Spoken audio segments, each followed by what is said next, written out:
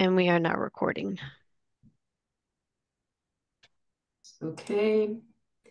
Uh, hello and welcome to the Amherst meeting of the Amherst Energy and Climate Action Committee, which was organized to guide the town meeting in its climate mitigation and resilience goals.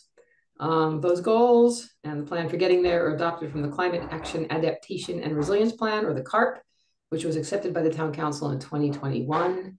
It takes 2016 as its base year and calls for a 25% reduction in carbon emissions by 2025, 50% by 2030, and carbon neutrality by 2050. So this committee has two primary functions. One is to advise the town council and recommend or propose policies or actions that help us meet those goals. And the other is to promote a just, equitable, and speedy climate response through outreach and engagement of town and local stakeholders. So welcome. Um, the first thing on the agenda is always to find a note taker. Um, so let's see, where are we with note takers? Um, I'm trying to look. Michael did it last time. Who's next on the list? You have the. Um, let's see. I don't know if it's in order. Uh, I mean, assuming this list order doesn't change. if it does, it shouldn't, it but does. I think it does sometimes. so then we have yeah. uh, Don, uh, who's not here yet, and then Tony. Don, Don, and Tony will not be here this evening. Okay, Caitlin I don't. I haven't heard from Caitlin. Um, Andrew, you want to give it a try? Sure, little, I will do my meeting. best. It's only your second meeting, so I feel like it's a little unfair. But uh, this is my third meeting. So Third meeting. maybe it's fine. okay. It's fine. I, will I'll do my best. Okay. So Andrew, you can just send me the draft when you're done. Um, uh, the next thing we do is share the minutes to approve the minutes from the last meeting, which I have here. Um,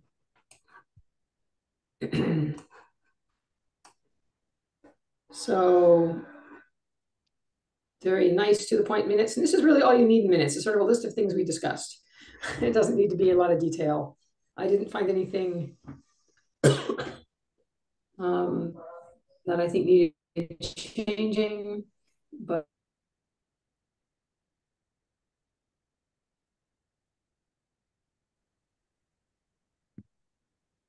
Lori, I don't know if you can hear us, but you froze.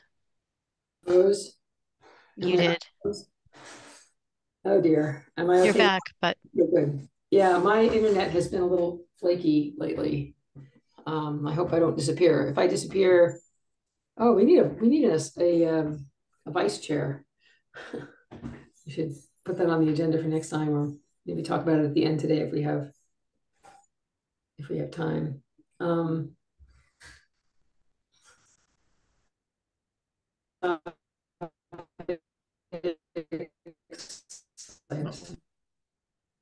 Lori, you're breaking up. Um, oh dear. I don't know what to do about that. Do you want me to me share see. the minutes? Maybe it'll be easier if I do that. Why don't you let me? Yeah. Okay. Yep. I'll unshare. You go and share. Let me stop. Give me a second. I have to get them up again try that. I think we might not need to bring them up. Do we have a movement, a move to um, accept them to as they are?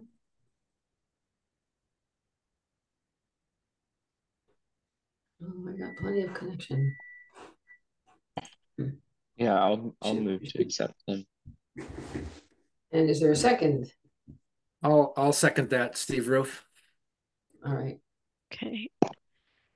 And in no particular order, Ising, Yes.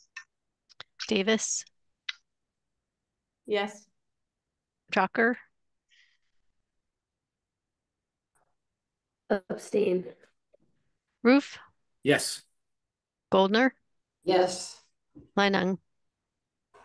Yes. Okay, minutes are approved. All right, so the next thing on the list is uh, always comments from participants, from attendees. So if you have a, Martha uh, has her hand raised, so. Martha, you can go ahead and unmute. Hello, everyone. Good evening. And I just wanted to briefly call your attention to something that I just learned about recently, and that is our town manager has sent to the town council a proposal to install four traffic circles in front of Fort River School in that one block of Southeast Street. Uh, and so, you know, that's something that will be a big impediment to people walking, to children trying to cross, to anyone with a bicycle. And it's done to, quote, improve traffic flow.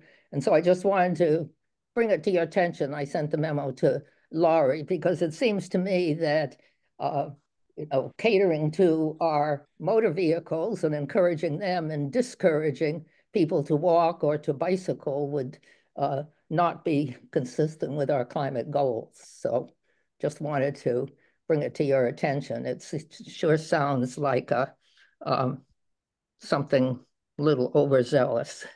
Thank you. Thanks, Martha. Um, point, I, I want to say that, um, you know, in the years I've been here, and I'm sure you, I've seen an awful lot of traffic circles go in. Somebody clearly likes them quite a lot. We just had three new ones put in in my neighborhood. Um, and they're always contentious, and I no longer know what the right answer is. I have to say, when the ones went in at UMass, I lived in that neighborhood, and I was very worried about them being a problem for pedestrians and bicyclists. And I have to say, it hasn't turned out that way. Um, so I don't know what I think. The ones that just went in, in my neighborhood seem a little crazy too, um, but it's not as horrible as I originally thought. And uh, I don't really quite know what to think. I do think we get a little overzealous with them, and it's worth considering and thinking about. So I will send that uh, memo that you sent me around to the rest of ECAC, and maybe we can chat about it next time. And thank you for sending it. Four in that one short stretch does seem quite a lot. Uh, yeah, thank you. I would be interested in seeing the plans or a link to the plans to um, get a sense of that proposal. Yeah. I have to say, I don't find traffic circles themselves dangerous. It's just the cars using them that are a hazard. bicycle. yeah, there's always that. Um, all right, so if there's time at the end, I'll I'll maybe present that as a as an update. I'll share that today, but if not, we'll definitely have it on the agenda next time. So agenda for next time. Okay, next. Um, any other questions from the attendees? Okay, in that case, we go to the agenda. And the first thing on the agenda are weight, the waste related topics. So I heard back on two things. Um, I did hear back from, uh, let me get this right. Give me a moment. Uh, we had a question. Somebody made a comment a couple weeks ago about black plastic not being recyclable at the transfer station. And they wondered, and they had heard that it was because um, some machine at Springfield can't read black plastic. and in fact, that's exactly what Steve Talega, the solid waste supervisor for Amherst, wrote to me. It's not collected. Hmm? Uh, it's not collected at ATS. This is because the facility in Springfield that takes our material does not accept it. He's told that their sorting process has a difficult time sorting it, as do many other facilities. So the recycling guides, there was no online recycling guide. I asked him if there was one. He didn't give me an answer. He just said that the recycling guides at the transfer station list black plastic as non-recyclable. And we have signage posted near the collection area. So I think they only list this at the at the um, transfer station, which is why it wasn't easy to figure out without going there. So it's it's a bit of an odd thing. I don't know what to think of it. Um, there's so many things that aren't recyclable. It seems a bit odd to not recycle something that should be because it's the wrong color. but if that's as it is, I don't quite know what to do about it. Um, but that sort of brings up the other the other trash related thing, uh, which is the waste hauler proposal that we talked about last time, and that I promised to write a letter which I think you all have a copy of now, right? Uh, of course, I managed to have closed Yes. my copy. Um, they do, I sent it earlier and um, it is in the meeting packet as well. Right, right. So um, I didn't, I just had a chance to finally dash this off today and, and you didn't make any changes, right, uh, Stephanie? Uh-oh. Sorry, no, I did not. No, I couldn't find my button. Um, no, I did not make any changes. So in that case, let me share this and do some in editing. And I think this goes to the town manager and the town council. And if I understand the situation correctly, there is a request for proposals for a waste hauler for Amherst that has specific requirements that has gone out. And um, and it was already sent out. It's done. I believe that proposal was accepted. The the RFP was sent out. And uh, so I think the purpose of the letter was to eh, thank them for that and then encourage them to follow up on it when the RFPs come in to find a way to make this happen. And the particular things that were interesting that they're trying to make happen are a pay as you throw fee structure. So you're paid, you pay more for more trash, you know, not for a bigger bin or for the, a certain size bin, but for more trash, you pay more. And, and conversely, you pay less for less trash. And uh, also to have curbside uh, compost pickup which would be a boon for me. I know I would really appreciate that. Um, there is composting at the transfer station and also to figure out the future of the transfer station and how that figures into everything. So with that in mind, I will share my screen and it was a simple brief letter that was designed to go, I think to the town council and town manager, but if I have that wrong, um, please let me know anyone who was here last time. I think that was the idea. Can you all see that?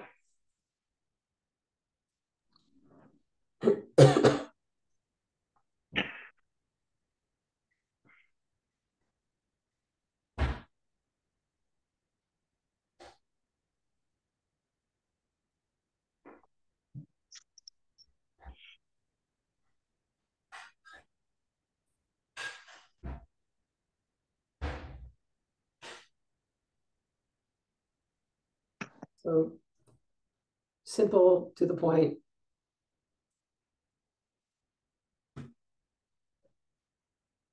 Anybody want to change anything? Add anything? Hey, Lori. Um, I think this is fine. I, I guess, and I haven't been here, so you can ignore these comments, but I'm just not sure what the value is of us weighing in at this moment when I think what actually would be more useful is to see what the RFPs come back to say. Um, because Oh, I don't know whether they're going, you know, anyway, I'm just I'll just leave it at that. I don't mind sending this out. Um, but if like pay as you throw comes back to be super expensive, sure. I think we're going to have to really think through whether, and none of this shows up in our climate inventory. That doesn't mean it's not important stuff to do, but Oh, you know- zero, zero waste does, right? I mean, no, we do not, in our GHG inventory, we do not oh, calculate n- No, emissions of, or, or, so I think, I always think it's a little bit, it does align closely with our mission, like, but it's not going to help us meet our climate goals as written because our climate goals are based on a baseline of emissions that don't include um organic waste. but the zero waste is in the CARP. Y- Yes, it does align closely with our mission. It does not help us meet our climate goals. goals. That's true. Well, it, it does. I, I mean, it does. It does. It just that we're not accounting for it, right? Yeah, but we're not going to be able to say like we received a 2% reduction in our goals because we are composting more. That's true, but I, I still think, I mean, it's certainly something we want to support. Right. Um, and I, and I think, I think I understand the concern about fee structure. So maybe the thing to do is to add a sentence here saying, you know, we, we hope you'll, we look forward to continued efforts and we hope you will involve ECAC in In what, in, in? reviewing- Yes, I mean, I think that could be, that could be helpful. I think we would love to weigh in on the RFP because yeah, it may be that it is a little more expensive and we think that the benefits outweigh the expense, right? Um, so I think we would like to be you know, eh, serve an advisory role if possible. I think that would would help make this letter a little bit more um meaningful, in my opinion. Right, okay, so how about this? Uh, we support your continued efforts and hope you will consult with ECAC once proposals come in.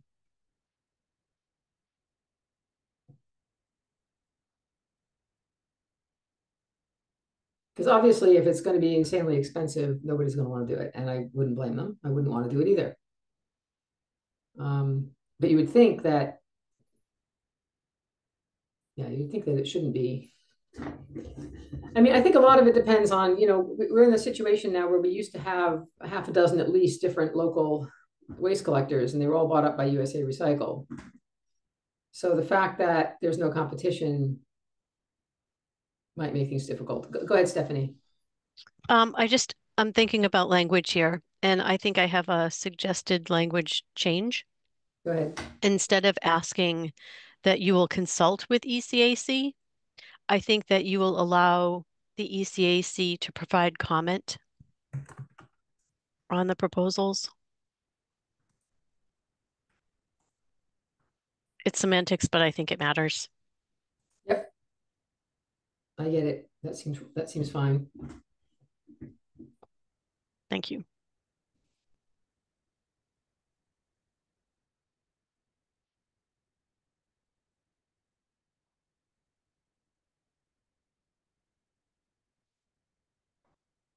On waste hauler proposals.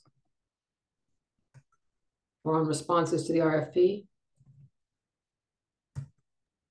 Um, sure. I don't, I, I don't know that we actually technically can do that. Um, I think if, uh, yeah, like they're not, when we get proposals, we're not allowed to just publicly share them.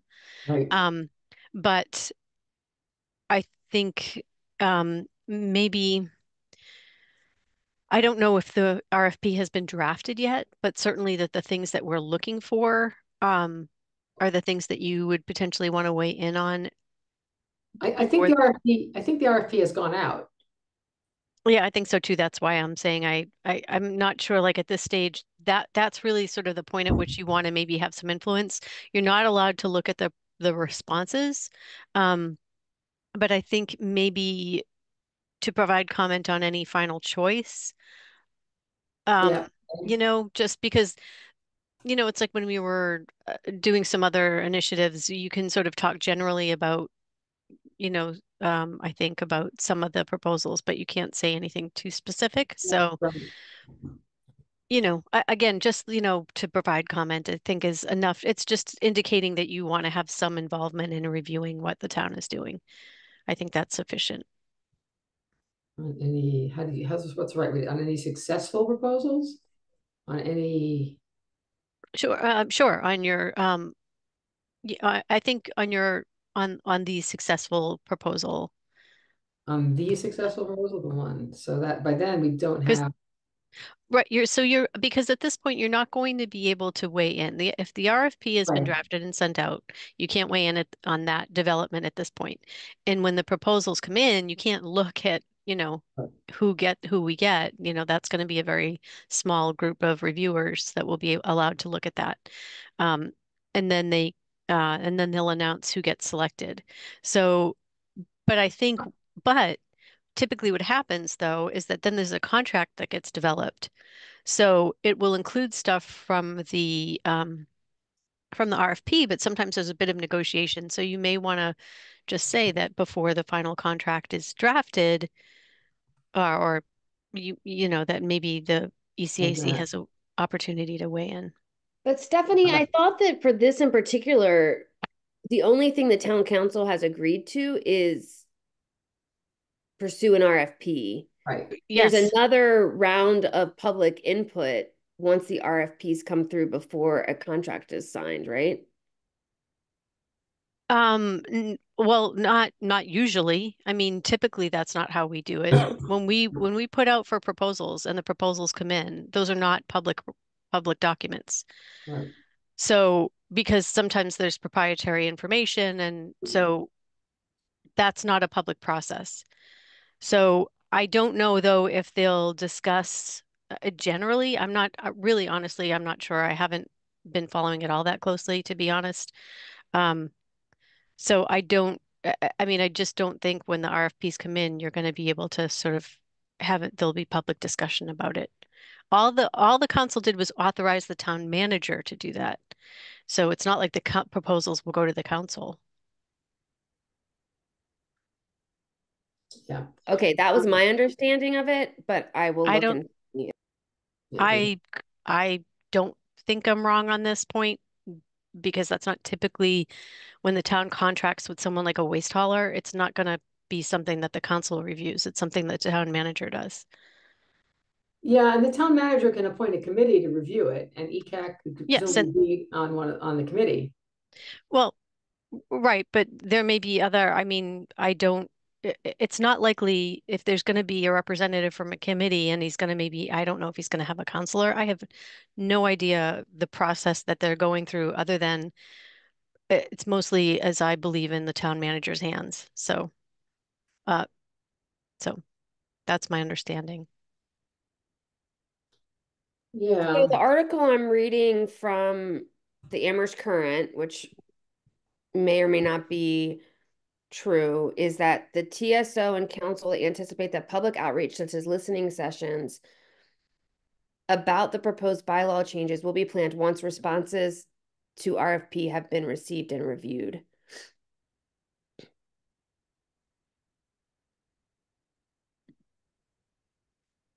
Okay. I don't know what that means, but say that say that again, Laura. I'm sorry, a little slower. Sorry, um, I was hearing you, um, but and it links to a TSO report, so I can see if I can find the original language. But what it says is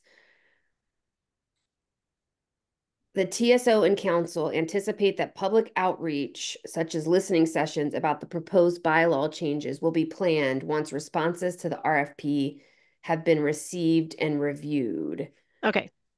So that that just means that they're discussing the bylaw changes, not the proposals themselves. So they're not going to dis so the bylaw changes may reflect what the proposals are offering, but that doesn't mean that they're reviewing the proposals themselves.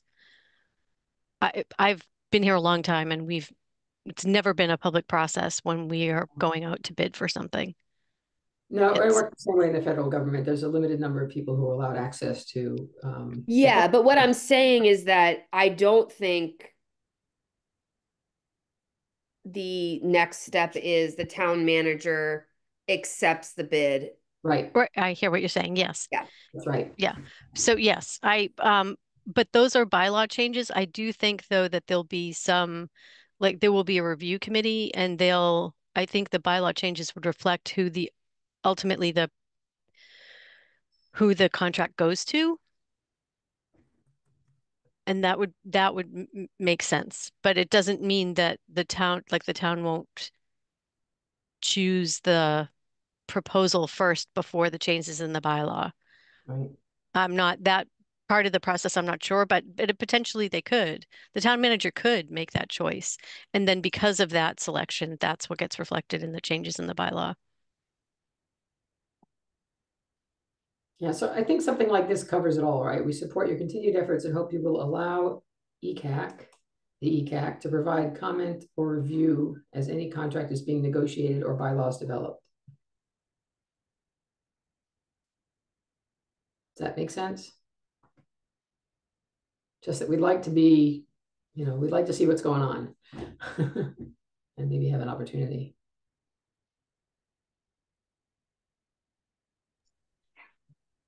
And the right, the right addressees would be Paul and the town council. Does everyone agree? Stephanie, does that seem right? Sure, that's fine. Um, sure. That's if that's you want to address it to, that's fine.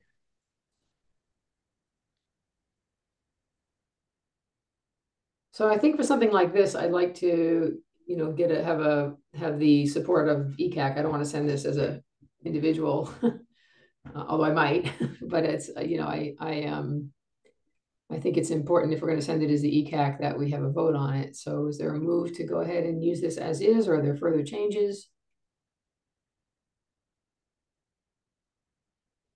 Or do we think it's not worth sending?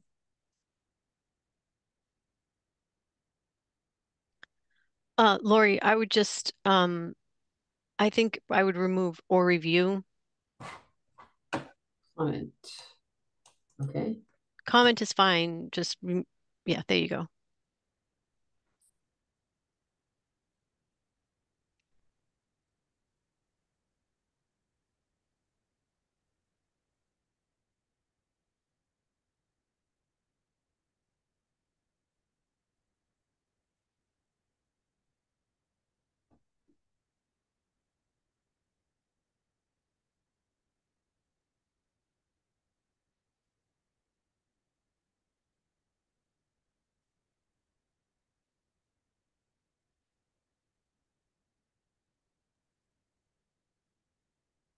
I will go ahead and move that the ECAC uh, endorse this letter and ask the chair of ECAC to send it on to town manager and council. Is there a second? I second. Thanks, Andrew. So now I will stop sharing because I think we need to do a vote. Oh, great. The share thing is hiding. There it is. Thanks, Lori. Um, okay, so in no particular order, Roof, Yes.Issing, Yes. Linung, Yes. Davis, Yes. Drucker, Yes. and Goldner. Yes. All right, Okay, so it's I will, unanimous. I will take it from there. Somebody, uh, um, Andrew in the notes, just make sure there's something about Lori will send this on to the, or Goldner will send this on, so I don't forget. Um, all right, and back to the agenda, if I can find it. Ah, yes, solar bylaw review response. Um, Steve. Yes. Um, I'm not sure what to say here versus in agenda item number six, except I guess if this item was about me preparing something for ECAC review, I have to say I have not done that. Yeah, okay. Um, part of the reason is that the Massachusetts legislature is moving again on the solar, oh, what is it called? An enact, an act, forget the full, S twenty nine sixty seven, um, which is the solar siting. Uh, so renewable energy infrastructure siting includes renewable energy infrastructure siting reforms as well as a host of other things to update Massachusetts's um, efforts to get renewable energy. That is um, been brought back. I guess the House and the Senate leaders have agreed, and it was supposed to get voted on by the Senate earlier today, but it is delayed. It may get voted on by the Senate tomorrow, is what I hear. And I haven't yet seen a good analysis of what's in the bill. I've read bits and pieces of it. It's really hard to understand because basically the bill that they're voting on is just a bunch of excerpts that say such and such a mass general laws will be changed. This will be added. So you don't get a complete picture. You just get the bits and pieces of it. Um, anyhow, that has the potential, if it passes, the to change up quite a bit the way um, ground mount solar projects can be reviewed by the towns and cities. Um, I understand that the state rules would supersede the local rules. On the other hand, the state may take another year or two to actually develop the rules, the specific rules, once this law is passed. Anyway, so that's up in the air.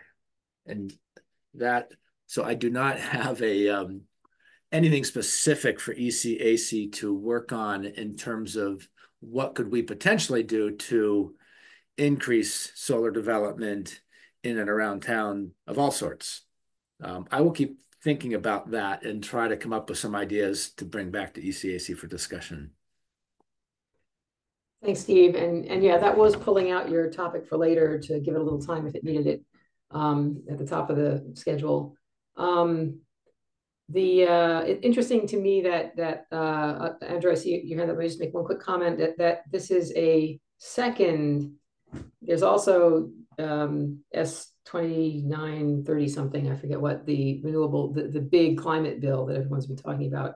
And the siting one is separate, and it's all happening in the informal session at the last possible minute before it, it pretty much needs to go back to the drawing board uh, for the new legislature. So um, it's a little disturbing that all this stuff got put off, but good that it's happening. Um, all right, go ahead, Andrew. Um, I'm just wondering what effect this will have on our solar bylaw uh, draft because, like, is will it be all you know moot, or uh, do we should we wait to finalize the bylaw until we get you know a, a sense of of where this is going? That that came up last night at the CRC, the Community Resource Committee, which is a subset of the town council.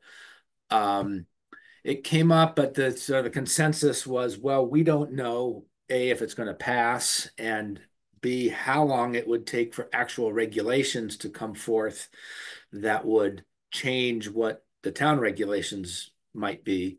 So the mm-hmm. sense among CRC was to continue with their work, which is to continue refining the draft solar bylaw and bring it forward to town council at some point. It's probably still a couple of months, I'm guessing, in CRC before it will come to town council. So um, I guess just just not enough information about the state, um, what's happening at the state level to cause a change in plans in at the Amherst level at the moment. Right. Interesting.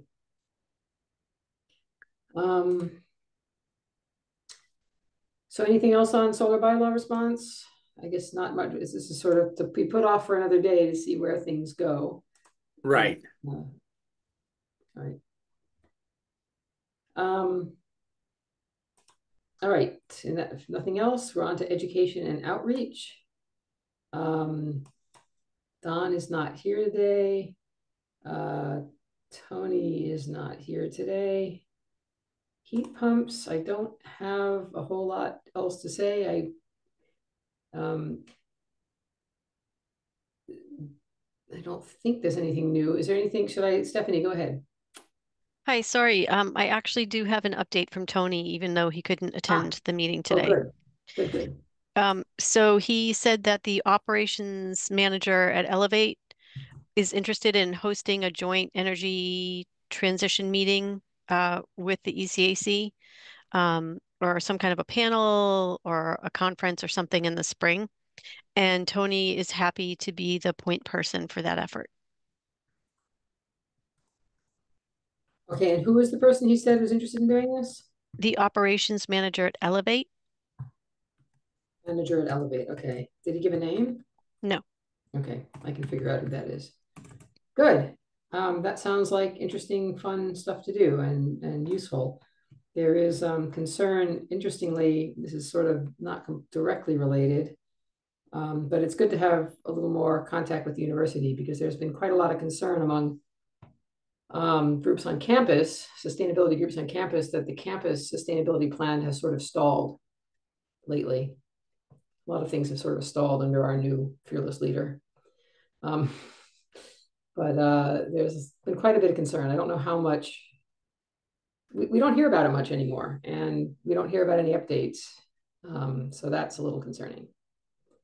So it would be interesting to have more contact with the university just to get some input and to get some, and perhaps apply some pressure to um, stay on top of things because they're such a big user. I mean, this they're the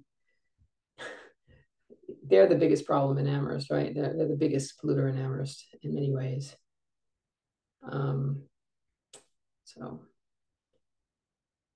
all right. Uh, so that's good. Um,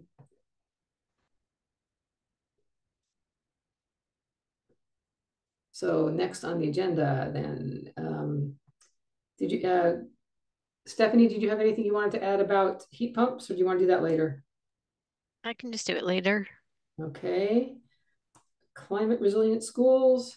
Um, I do think we mentioned this last time, but didn't we get a ride roll? We got a notice about an upcoming ride walk. What is it? Ride roll to school.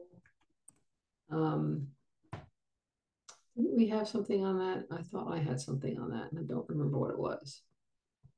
All right, I don't have it handy, so I'm going to skip that then, um, unless there's anyone else who knows anything about climate resilient schools and what's going on there.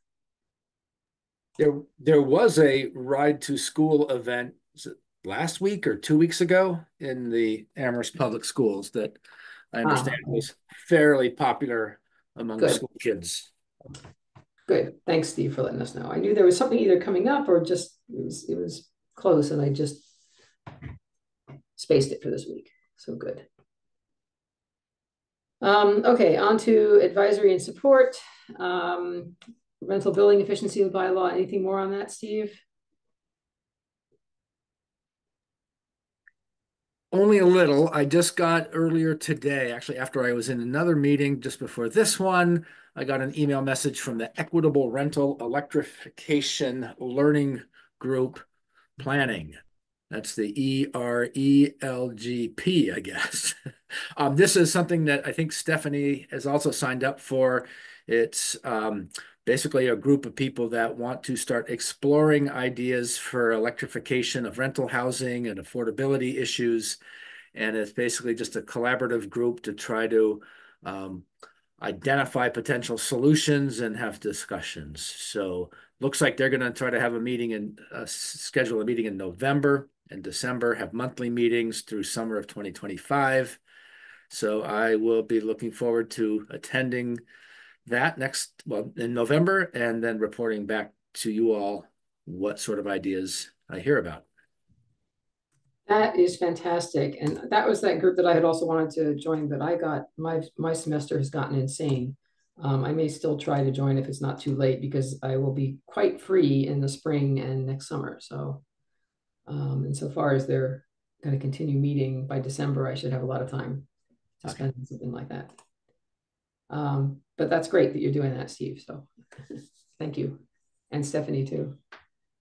Um, so uh, draft solar bylaw we covered, transportation, Tony's not here, but maybe this is the place where I should share the memo that Martha sent. How about that? What do you think? Good. Okay, let me bring it up. Hang on a moment. It will take me just a moment to get this. Um,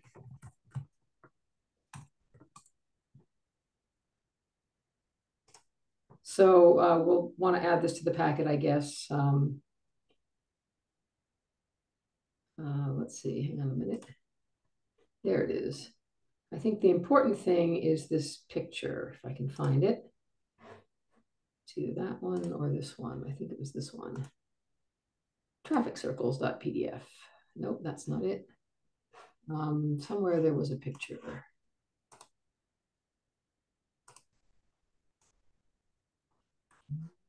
One more traffic plan. That's probably it. Yes, there it is. Okay, so let me go ahead and share this. Uh, let me let me open it in in something better than a browser. Give me a second. Uh, oh dear.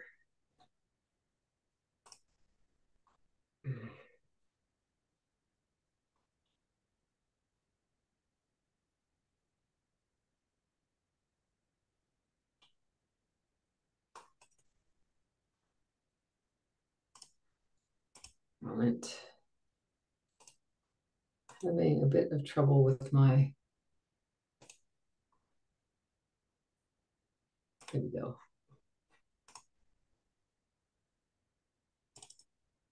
Yes, okay, good.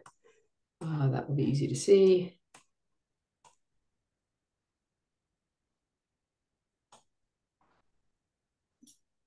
Wait, one more moment, I'm getting there. All right, share.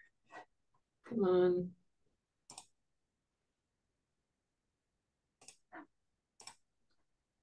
Okay, so this is the plan. I might as well just put this up because that makes it pretty clear. And the traffic circles are where the stops, I believe. Um, wait, does it show with the circles? I'm pretty sure they're uh, here, here, here, and here, but let me check the, hang on a minute. Main Street, public entrance to the school, school bus entrance to the school, and College Street. No. So not this one. This this traffic, this this becomes a circle. This be, can you guys see my pointer? This becomes a circle. Yes. That becomes a circle. Yeah, and the this becomes a circle, but not this one. This is just a actually with the circle, you don't need this one anymore. So this goes away, I suspect. Um, you know, right now, the biggest problem is just that there's no place for bikes to go at all. And it's a fairly, it, there's just no, no good place for bikes to ride. And not so much on, well, on Southeast Street and also on Main Street and College Street. Um, there's just no real access. And the potholes uh, and the pothole filling makes the margin of the road dangerous. Um, I mean, just repaving would be a big improvement. Um, mean, the problem that I had originally with circles was that, you know, where, when do you stop so that people can can cross, right? Especially as this is an elementary school. When does the traffic stop, right? Um, but what seems to have happened on the UMass campus, and those are fairly big, relatively fast moving circles. I think these might be a little slower. Um, and smaller. the smaller they are, the slower people tend to go around them, right? Um, the way they put the crosswalks, it's fairly easy to see somebody coming and to stop. And it does tra stop traffic in the circle momentarily. Um, but I haven't heard if there have been accidents or problems. Those those circles have been there now for maybe 10 years. And I have not heard of accidents. Um, so like I say, it, it seems counterintuitive. And I have ridden my bike through them many times, and I don't find them particularly difficult to negotiate. The one I find worse, actually, is the one on Triangle Street. Um, it's too crowded. There's five five entrances, I think. One, two, oh, yeah. four at weird angles. Mm. And uh, it's it's uh, I just about got killed there once when somebody just didn't. I was in the circle on my bike and they didn't see me and kept going. Um, and I, I, slammed on the brakes and missed them by about an inch, or they missed me by about an inch. So it was, uh, you know, it was a little hair raising, but that's the only time I've ever had a problem, and it wasn't with the ones that I think these are fairly square-ish. This this one isn't, but it's also a a bigger, easier to negotiate circle. That one on triangle is really sort of crazy. Lori, I don't know if you can see, but Laura has her hand up. I'm sorry, Laura, go ahead. No, I didn't see that. It's Oh, thanks, Stephanie. Thanks, Lori. Yeah, I mean, I think it is well within the role of ECAC to express support for making whatever traffic changes are made be as walker and biker friendly as possible. I don't know our new members very well, but none of the rest of us are traffic engineers and this plan is made by traffic engineers and there's lots of data on roundabouts and they're uh, if designed well can be quite supportive of pedestrian disability and bicycle traffic and also result in reduced emissions because um people are driving slower there's less stopping and starting um and less traffic buildup generally as a result of traffic circles. So I wouldn't feel comfortable with ECAC making any comments on the pros or cons of traffic circles. I think we have a lot of status quo bias against them, um, yeah. just generally. But I do think, to your earlier point, Lori, like anything we can do to support biking and walking we should. And that may mean making sure that the roundabouts are designed in such a way that they do um, Right. facilitate that as much as possible. I mean, you can imagine there being a, a nice big wide bike path with a sidewalk next to it along this strip here, right? And that would bypass all the circles and, and make it much easier and safer for everyone. Um, except as you need to cross the street, right? And then that just has to be engineered correctly. So I, I don't, I can Yeah, and there should be a crosswalk person. I mean, not all the time, but during school hours. And Anyway. and yeah, I do think we shouldn't waste this opportunity of updating this traffic pattern to improve bicycle and pedestrian safety. And maybe writing a letter to that, you know, whatever they do there, we understand this is the plan, please make sure bicycles and pedestrians are front and center. Um. Yeah, What, what is the status? This is, you're showing the map and there was a memo associated with this. yeah. Is this that's the memo. uh, something that has going out for a traffic analysis or has it come back and it's further along in the planning stage? Like, like how definite is the plan for these um, traffic circles? It hasn't been funded yet, from what I can tell, but this is, this is the thing right here. The Department of Public Works was asked to research options to address the impact of increased traffic flow on Southeast Street and neighboring roads because of the new school. Um, because I think it's, it's basically two, it's, it's double the traffic, double the number of students, right? Um, the Department of Public Works was asked, let's see, where is it, blah, blah, blah. Uh, the plan is here to install four roundabouts at four intersections to allow for improved traffic flow along the corridor with the least impact to East Common and adjacent properties. So no bike path on the East Common, I guess. The details of specific data used to reach this conclusion are included in the report and appendices titled Fort River Elementary School Traffic Engineering Services Final Report by CDM Smith. Uh, A little bit to the beginning of the letter. Is this from? It's a recommendation. From Paul to town council. Okay, so he's asking council to approve these changes as made by this CDM Smith traffic study engineering services report from July twenty twenty. Okay, In particular, I think it's gonna need funding. Yeah, the concept design is approved. I think he needs approval. And then to contract them with, uh, with them, they'll need funds. Funds will be needed to be pay for design. and to Well, yeah, I, I mean, I find this very interesting. Um, I'd want to be careful as part of ECAC to figure out sort of whether and how ECAC would might want to weigh in on it.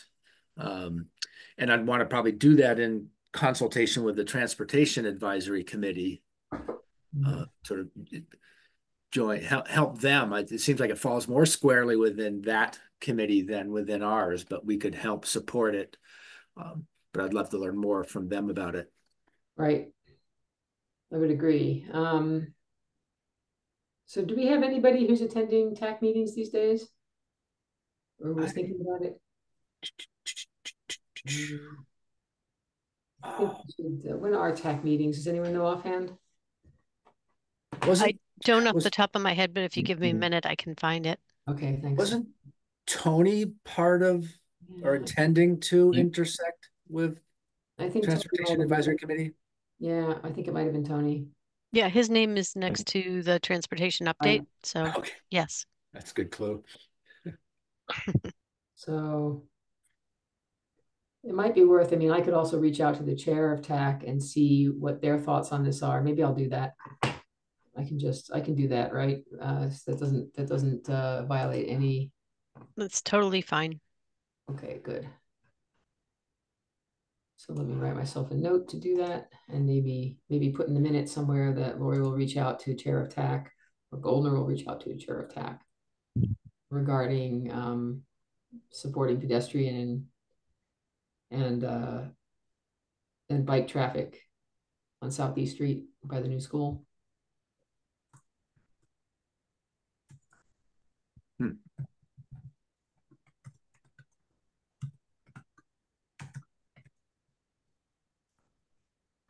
Is, Thanks, is that memo on the town website someplace? I'm guessing not, because I think it's from Paul to the town council, so why should it be, right? Um, The- can- This, this memo will be in the town council meeting packet. Oh, right, right, right, right. okay. And do you happen to know if this report from the CDM Smith engineers, is that else, is that someplace on? Yeah, it looks like it would have to be. Well, it says it's attached, so it would Oh, be part okay. of the packet as well. Okay, thank you. Yeah, You're welcome. it'll be interesting to see. All right, I'll stop sharing now. Okay. So, um, all right, we have a plan there to do, just to do some reach outreach around that. I am very glad that something is happening. I just wish they would extend it around the corner onto Pelham Road. And put in something, any rate. Um, all right, what else? Uh, next. Anything else on transportation?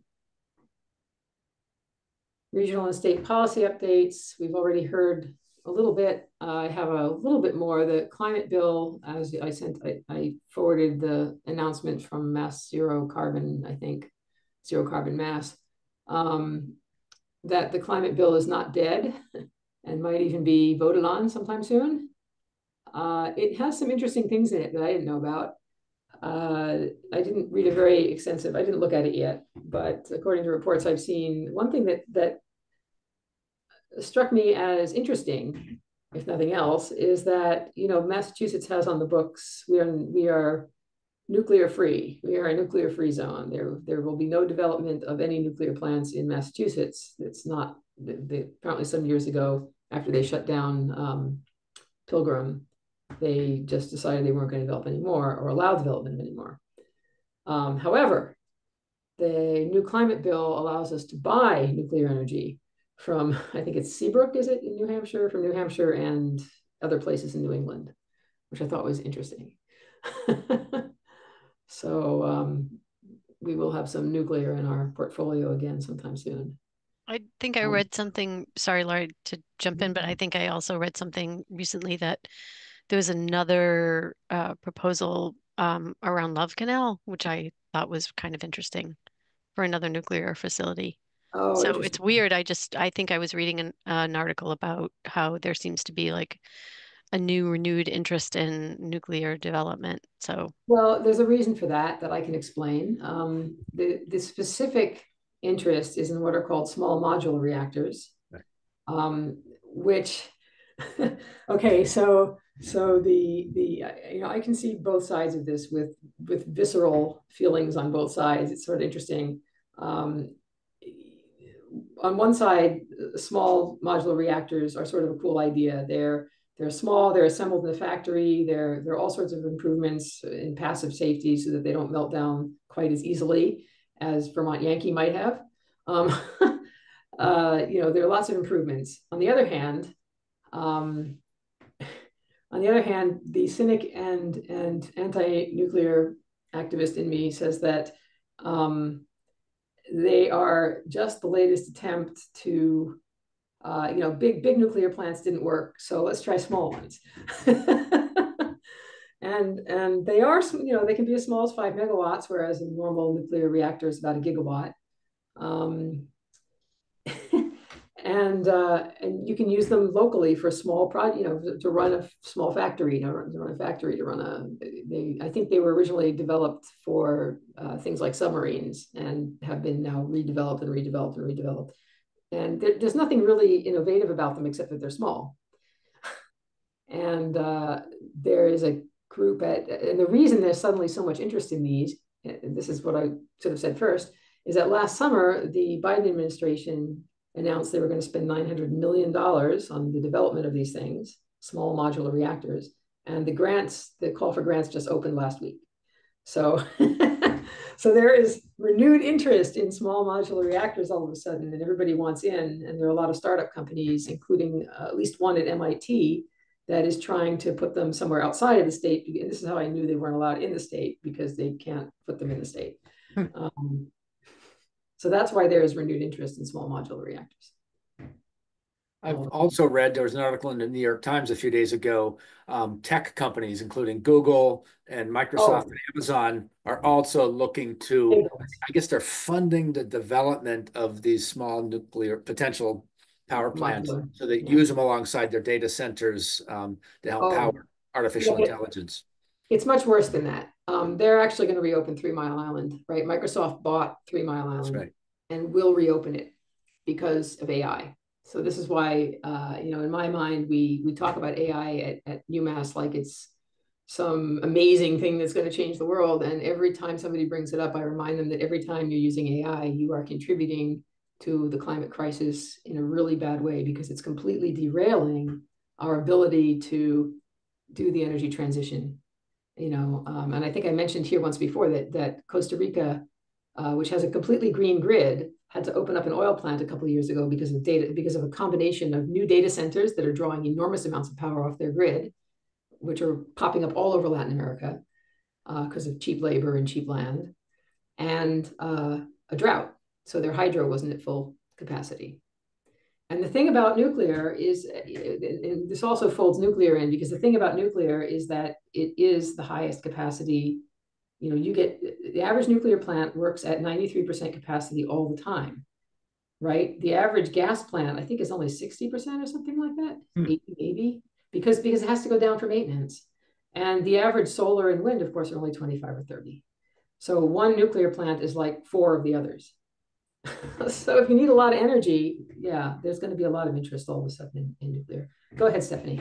Uh, This is just a correction. I had said Love Canal because I'm stuck in my, you know, Ah, 1970s environmental disastrous, you know, projects. Um, but I meant Three Mile Island. right. So, um, so I just wanted to correct that, but also I think I might have read the same article that Steve was referencing as well.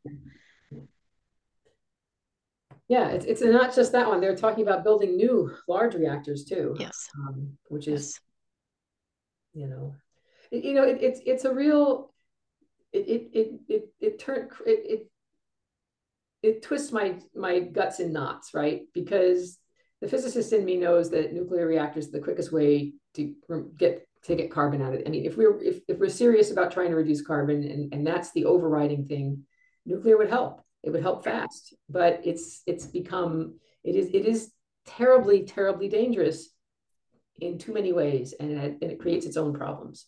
And we don't need it. We don't need it. So I don't know. Uh, Stephanie, your hand's still up, and then Andrew. Okay, Andrew. Uh, yeah, I just uh, wanted to bring up other countries' uh, approach to nuclear. I think a, a recent example I've seen is the approach that Germany and the approach that France took to nuclear power, di di very divergent approaches. And France is maybe the most has the most reliability on nuclear, and their carbon emissions are, are much much less than Germany's, which completely did away with their nuclear energy system. Um, and you know, when you this day and age, we don't have enough capacity or anything. We don't have enough renewable capacity to replace nuclear energy when we shut it down. Um, I think more regionally, uh, New York shut down its nuclear energy, uh, the Indian Point energy plant, and uh, they had to open up a lot new natural gas plants to replace that. Um, so it's it's it's a difficult uh, it's a difficult trade-off. Um, you're you're either going to build nuclear or you're going to build, you know, some amount of of fossil fuel plants because it's it's not easy to to switch on renewable energy. Um, as we've seen in town, it's hard to site new solar arrays. Um, it's probably easier to create. Well, I don't know if it's easier to create small nuclear reactors, um, but uh, it's you know you're you're increasing the chance of of fossil fuels if you completely ban nuclear energy. Um, I agree we don't need it in ideal world, but I think um, it's it, it, there's a lot of nuance I think to this discussion. There is. We do have. I mean, I want to be clear. We, we have the capacity in renewables. We can do this, right? It's. I mean, Texas has virtually done it just by just by virtue of the fact that when there was a lot of money in putting in wind plants. Um, you know, you, it's possible. It just takes a lot of effort and and it takes a lot of desire and political will. And uh, the problem, you know, and there are, and like I say, I can speak passionately on either side of the nuclear uh, question, but I do think that, uh, you know, they've become such a, a target for terror and war. Um, if that Indian Point, you know, if Fukushima happened at Indian Point, Manhattan would be would be gone. You know, it's like it's. Uh, I think if I remember right, how far is Indian Point from Manhattan? It's fairly close to the city, isn't it? I think it's under 100 miles. Under 100, so it maybe not, but it's usually a 30 mile, a 20 mile, 20 mile exclusion zone is what is going on at both Fukushima and and Chernobyl right now. And it was larger at Fukushima to start with and smaller at Chernobyl, interestingly. um, so, you know, it, it's, it's right. It's not good. And depending on which way the wind blows and, and everything else, it's, it's just too close. And then there's also the problem of more people were, ki were killed in the, in the um, evacuation of Japan around Fukushima than in the disaster itself, many more.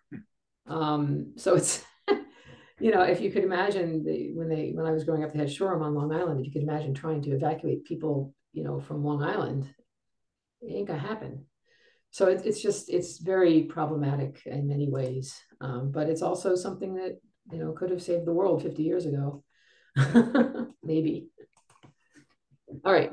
Yeah. You might remember, Lori, there was a nuclear power plant um, proposed for Montague back in the seventies. Do you remember that? No, I wasn't here in, in the 70s. Uh, yeah, it was um, actually, and it was one of the proposals and the opposition to it was one of the events that kind of kicked off the big um, nationwide anti-nuclear movement. Right. You can look it up on Wikipedia or someplace. But yeah, up on the sand plains of Montague, there was some proposals. I don't think they got very far, but there were some proposals for, uh, oh, wouldn't that be a great location for a nuclear power plant? Yeah. Uh, Stephanie, you have something? Yes, I was going to say that I'm I'm going to digress a little bit. I actually live not far from Vermont Yankee. Mm. Um, so when we first moved to our house, we used to get calendars annually and radiation pills. oh, so great.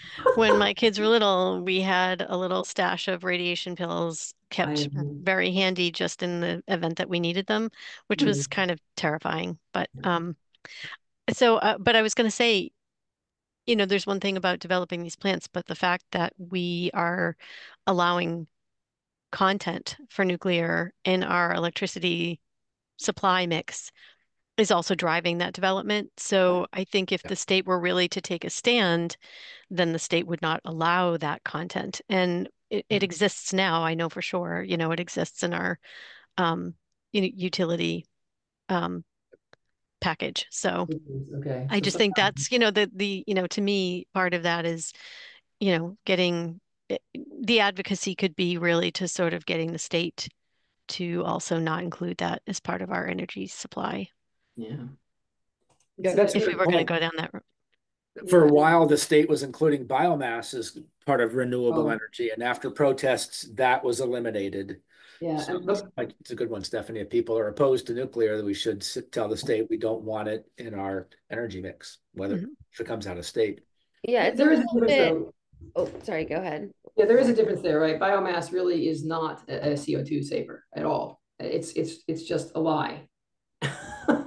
and and nuclear is, but it has other issues that that many people consider just overriding. And um, and I understand that. And I, you know, I I- don't know what to think these days. Honestly, there are places that really want nuclear uh, in the south. There are lots of nuclear plants, and they're putting in new ones. If they want it, and that's how they're going to clean up their grid, I'm not going to tell them to stop, you know, just, um, but I, I, you know, it's not something we need to do. It's absolutely not something we need to do. Hmm. Any rate. Um, Yeah, just ahead. to just, I mean, I don't think ECAC's gonna solve this problem, but um, so we can Oh, move on. on. But I, to Stephanie's point, I mean, I do think it's hypocritical for us to buy nuclear and have it be produced in other people's backyards if we're not willing to put it in our own backyard. Yeah. Exactly. Um, I also think to Andrew's point that if we are going to be fighting tooth and nail against solar and transmission line increases and other things that we need, it's very difficult to see how we get there without without things like nuclear. So it's there, you know, we as humans have impacts on the environment. And I think yeah. we have to figure out how we're minimizing those as much as possible. Um, yeah in the most holistic way possible. So I don't have a good answer to this one other than AI. Just building nuclear for AI is definitely not the answer. And that's what's happening. That's, that is really horrible.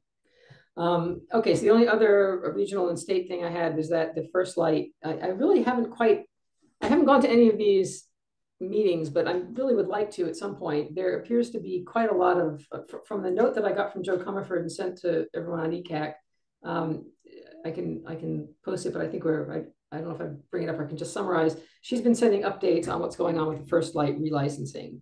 Um, this is involving the the giant hydroelectric battery that lives on top of Northfield Mountain and the uh, Turners Falls hydroelectric plant.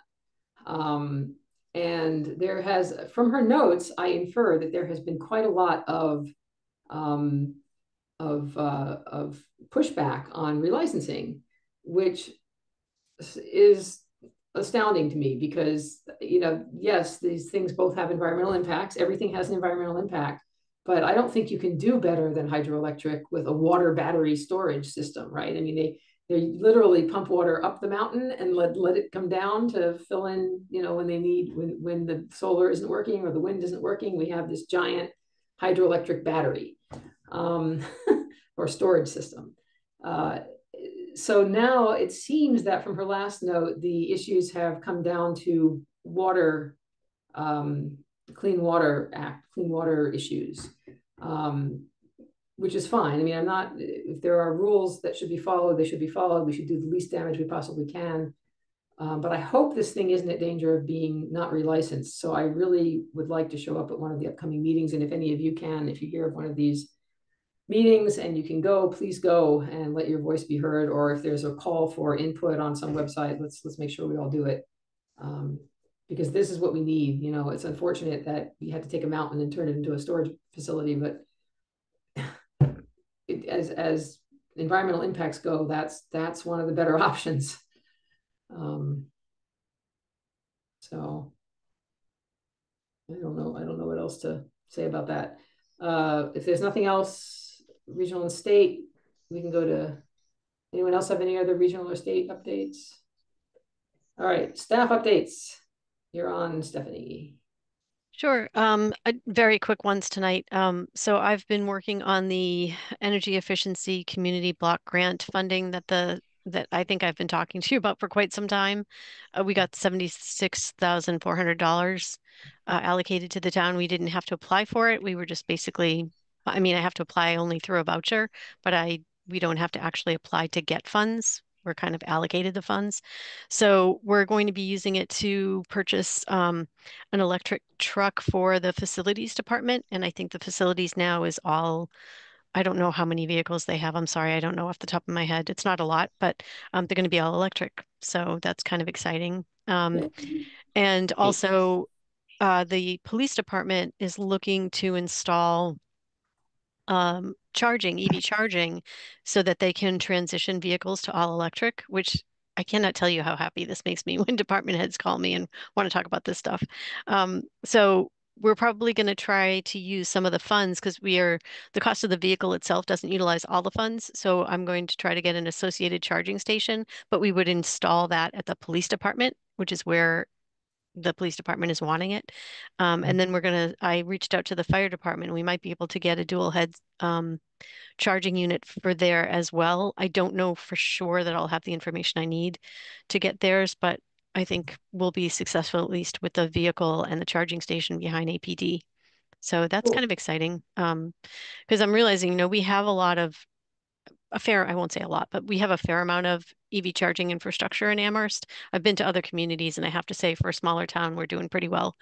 Um, we have 14 ports and we're about to have um, 16 soon with the two EV charging stations that'll go in. Um, the fast charging stations that are going in in the CVS lot. That is moving forward. We have till December 31st. I think if we need an extension, we can ask for it, but we're really trying very hard not to have to request that so that we can get those in. Um, I'd really love to get that off my plate. Uh, and then the other thing that I was working on is um, I'm trying to think of the other thing that was timely. Uh, the um, the uh, electric bikes, the Valley bikes. Um, so part of the problem with the station that we had um, in front of town hall was that it was uh, kind of rusty and old. The equipment wasn't in great shape. And Drop Mobility has new equipment they're going to be rolling out, but we can't roll out a Drop Mobility station when all the other equipment in town is Bewegen equipment. It, it won't really work. So um, it turns out that they do have some Bewegen equipment that they may be able to pull together a station um, that we can install at least until we start that transition to all of drop mobility bikes. So that's kind of exciting. I don't know exactly when that's going to happen, but hopefully sooner than later. So um, at least I, am hoping by the spring we should have the station in front of town hall again. Um, so I think that's it. I don't know if I had another update. Any more any more updates on the heat pump? RFP or just it's um they're just developing some of the outreach. Uh, as I said, we are looking for one to three households to be pilot cases. So again, if folks know of people, I don't know if we'll actually be putting something out um, and but I mean, I'm just starting with this group because you all are pretty connected to folks in the community, especially those that are maybe interested in installing heat pumps if they haven't already. So if people are willing to be a test case, uh, we need one to three households. So you could just let me know, send them my way, and I can right. connect I, them with CET. Yeah, and I found that note this morning and I totally forgot to follow up on it. So I'm going to follow up on it as soon as we're done today. I want to ask um, what um, do they need to have no heat pumps currently in the house? Do they, are there any other requirements? Do they need to be low income? Is there anything else? It's just pilot program, doesn't matter? Um, I, I think pilot program, it doesn't really matter. I mean, ideally, we would love to have low income households mm -hmm. to start with. That would be great. Um, but it's not, I don't think it's an absolute necessity if there is someone, a household that's willing to do this, because, you know, basically they're going to be the test case, right? So they have to know that it's going to be slow, it might be clunky, and how this all moves, you know, through the process. So they just, we're going to need folks that are going to be patient. So I don't think it absolutely has to be a low income household, but that is preferable. Okay. I definitely have a couple groups I can write to, so I will make sure I do that uh, today. And if anyone else has a neighborhood association or you know anyone you can reach out to, um, or if you don't have any heat pumps yourself and you want to you want to put heat pumps in, um, that would be great. Could I ask, um, or maybe not it's a question, but it's a um something I hadn't thought about, but before I was talking to the um Amherst College sustainability director a while back and he mentioned kind of like some of the cha- they're, they're they're having a bit of a challenge where they don't have any EV chargers in the student parking lots. And there's a couple students that have EVs that can't charge their cars. And I just think it's an interesting, unique problem in Amherst with three universities. And as more EVs become available on the resale market. And you know there are you know i think we're going to see more students with evs hopefully like we want to see that. Um but how to organize charger charging that aligns with student behavior and needs i don't know just throwing that out there as something that may be worth seeing if the colleges are talking about it or what we would do if anything about that I can I can say at Hampshire College, there's been some talk of assigning on or working with some companies that would provide EV chargers essentially free of charge for the installation, funded by state grants, I believe. I, am not entirely clear. Um, and then they would be operated um, the software to control them would come from a company and they would take a slight charge per kWh that goes through the chargers. Um, so people would would have to pay that plus whatever Hampshire College wanted to charge for it. But it was surprising that, that seemingly the the this company would come in and do all the logistics and planning and installation for almost no cost to the college. Um, if other institutions want to know more about that, I can go look up the details. And Laura, I could chat with Wes about that at Amherst College if he was interested. Sounds good. Thanks, Steve. I see Laura nodding her head. All right. Um, anything else? Staff updates? Uh, no, I think that's pretty much all I had at the top of my head. Okay, ECAC member updates. Anything Actually, I was just, sorry, I was curious, Stephanie, the chargers that the town sort of has management over, is there statistics on their usage? Uh, you know, I I've asked, but I have not gotten that information. So I so I had gotten the funding, secured the funding, got it all set up. Originally, things were in my name, and then I handed it all over because the financial management of that was sort of out of my hands, and I didn't want it either. So, so all of that, um, you know, so others have more of the access to the data now, and I've asked several times, and I've been told, "Oh, yes, we'll make sure you have access," but I haven't yet. So I will ask again. That's all I can do. Yeah, I'm not sure what it would tell us or what we'd be looking for in the data. I'm just sort of curious, you know, what sort of what capacity, however you measure capacity of use, I what can capacity they're seeing. Yeah, I can tell you just, I mean, my own observation of behind town hall here since Yeah. they've been installed. I mean, for years there was, you know, for a while and definitely a few years, very little usage. You know, other than the, you know, the town had a vehicle that we, you know, we purchased the unit with an association with an electric vehicle. Um, and there was very little usage. And now the unit in back of town hall almost there's almost always two vehicles there on most days. You know, I, I'm one of them. I will I will admit that I'm one of them. But um, I can tell you that more staff has electric vehicles or or plug-in hybrid. So there's definitely, you know, they're starting to show up more. Like there have been days where I've gone to, I've had to go to two or three locations to find an Mm. available port. So it doesn't happen often, but it has happened. Is um parking time limited there? Are you supposed to only park for a few hours or half a day? Four Or hours. Four hours. They're limited to four hours. Yep. Okay. Yeah. And that's part of a charging um system. You you you pay for the charge. Yes. Is that one of the commercial ones like ChargePoint? Charge point. Right. So you, yeah, we, we- all of our units in town, uh, the commercial ones are ChargePoint. So the ones that I was just talking about that I'm trying to secure for the municipal vehicles obviously would not be commercial units. They'd be only for municipal vehicle use. Right. Um, but the ones that are the ChargePoint are commercial and there's a fee associated with using the power, but also you pay for the parking spot as well. Yeah. But it's still pretty low right now. Our um, rate, I think, is 20 cents per kWh. Hmm. So it's pretty low. And that is likely to change. Unfortunately, I hate to be the bearer of bad news, but I think the rates are going to increase. Well, it's getting to be winter. They always increase in the winter.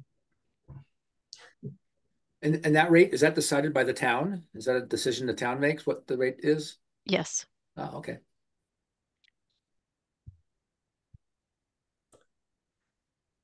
Okay, any other, any, any member updates?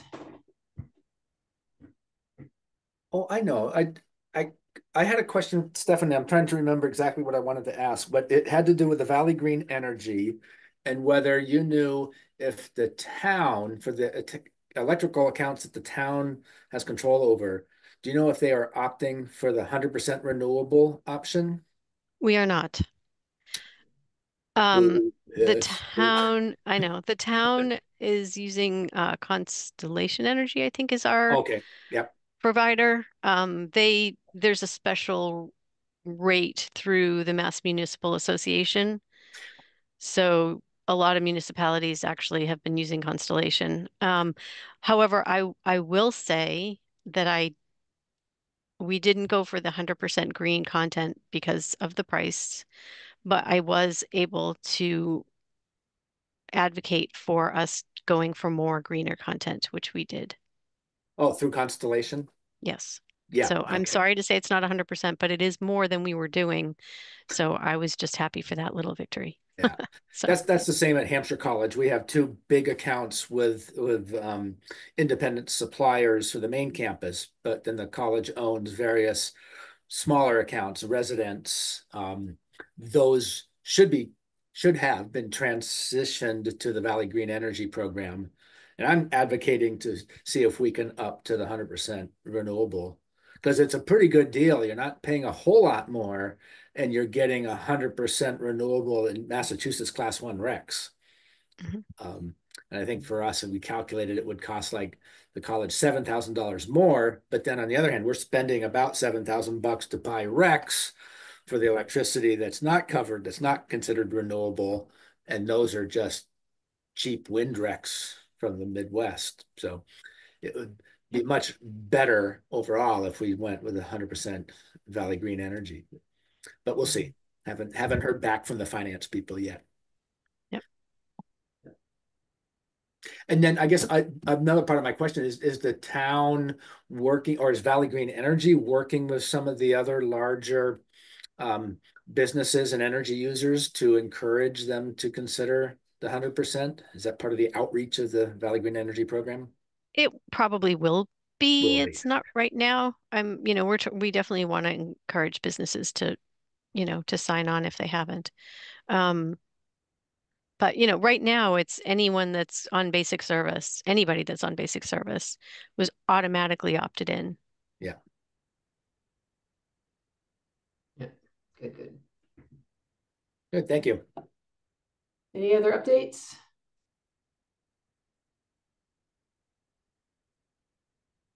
Okay, one cute thing that that I had happened this month, I got Berkshire Gas called me and emailed me. I think they texted me and emailed me because they were concerned that my gas usage had changed dramatically. because it was zero this month for the first time, I think, in my life. I've in a house that used absolutely no fossil fuels for a month.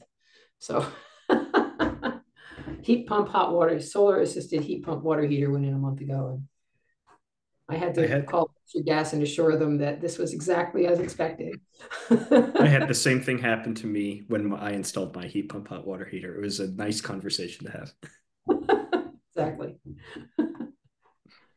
so, at any rate, um, all right, let's see. Back to the, not to, back to the thing. I think we have items for the agenda items for the next meeting. There are no other updates.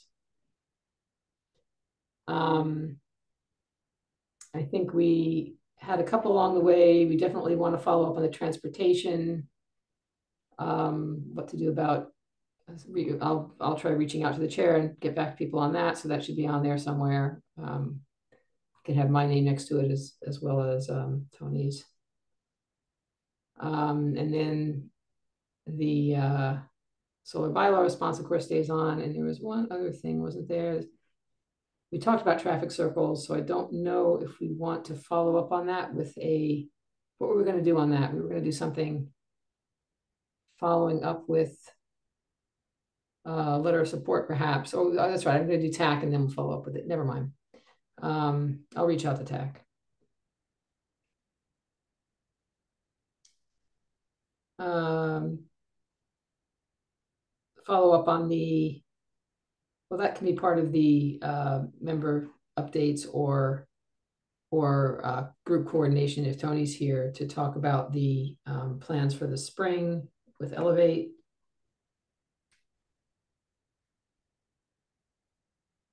And was there anything else anyone can think of that's off the usual, different from the usual?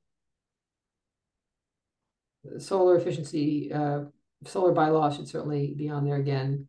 Keep track of what's going on there, see if we need to write something. Yeah, you got that. Yeah. You mentioned that, so it's on here. Okay.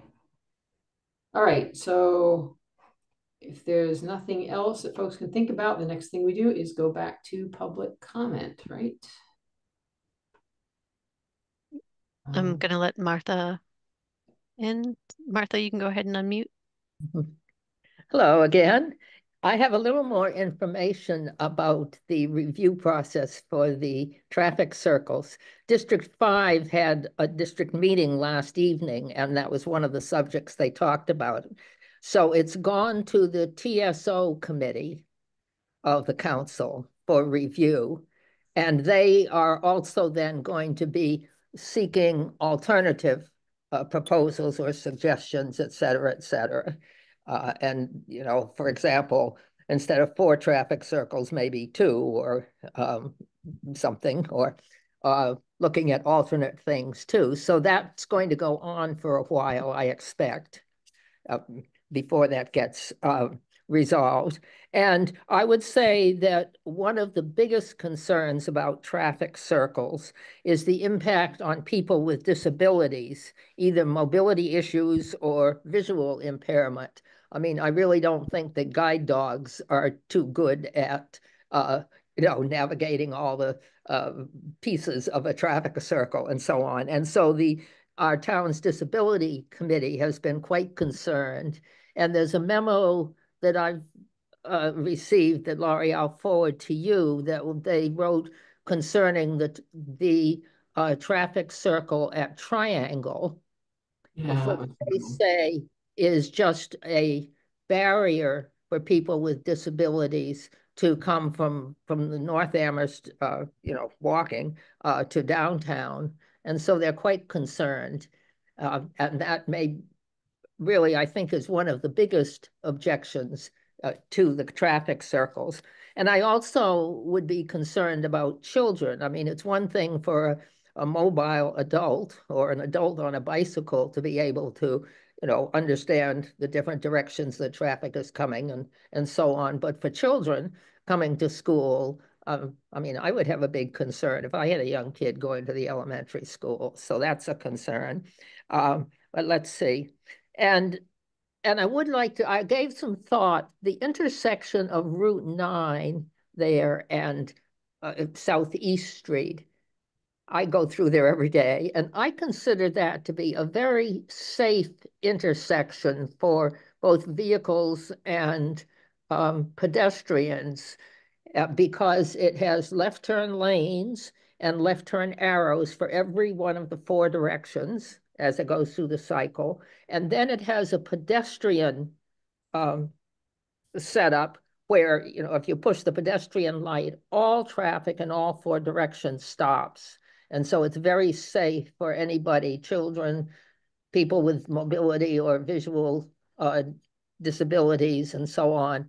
So I consider that sort of the ideal design of a intersection and I'm very hopeful that they don't try to destroy that with a traffic circle because I, I feel that one is a very safe, uh, you know, if it's not broke, don't fix it or something. Whereas maybe the others, I think the one, the Main Street uh, and and East Street intersection is is a real concern. And so uh, I would encourage anybody who has thoughts like on how to make it safer for bicycles or anything else uh, to uh, chat either with your representative or send uh, letters to the TSO committee of the council. So that's my thoughts on that one.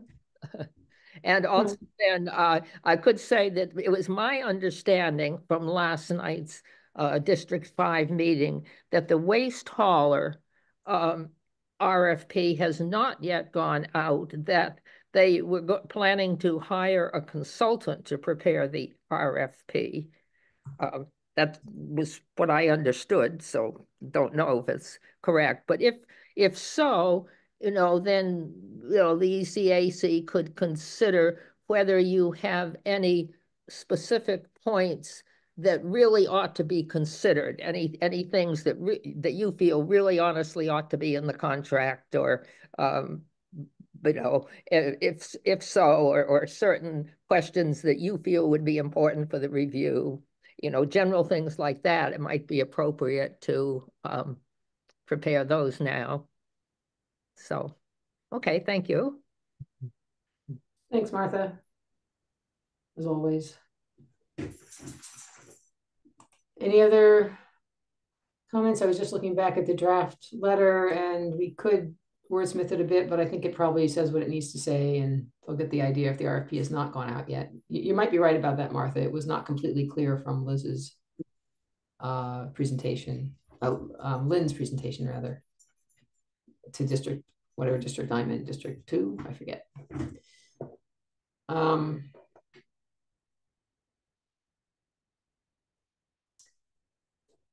any other comments? If not, I think we can adjourn this meeting. Should probably make a motion. Oh, oh, yeah, is there a motion to adjourn? Motion. Andrew, second. Seconded. All right, I'll see you next two weeks. Bye all. Thank Bye-bye. you. Bye.